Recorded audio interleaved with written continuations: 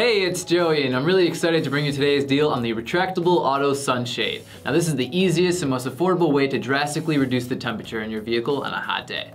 Now, if you're someone like me who has black interior in their car, you know how unbearable it can get in the summertime. But having a sunshade like this can make all the difference. In fact, it can actually reduce the temperature in your car by up to 50 degrees. Not only is this a great way to keep your car cool, but it will actually protect your interior from harmful UV rays thanks to the reflective UV shield.